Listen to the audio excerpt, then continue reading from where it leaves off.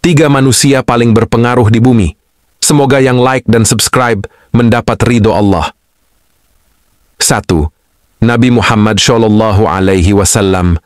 Beliau adalah seorang Rasul dan kekasih Allah.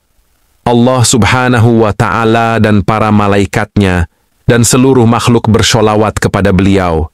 Nabi Muhammad Shallallahu Alaihi Wasallam bukan hanya berpengaruh di dunia, tetapi juga berpengaruh di akhirat.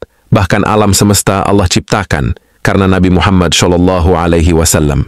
Dua, maaf, dua dan tiga tidak ada karena tidak ada manusia yang layak disandingkan dengan Nabi Muhammad Shallallahu Alaihi Wasallam. Semoga kelak kita mendapat syafaat dari beliau. Amin ya Rabbal Alamin.